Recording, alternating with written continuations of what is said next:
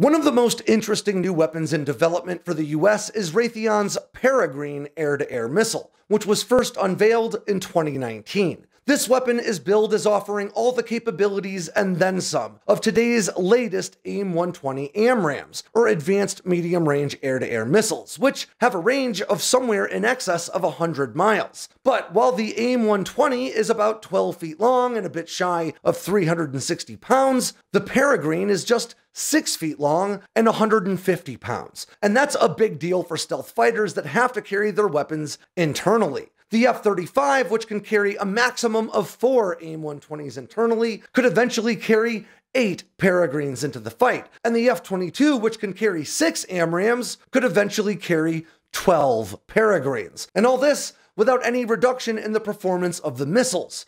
That is a very big deal.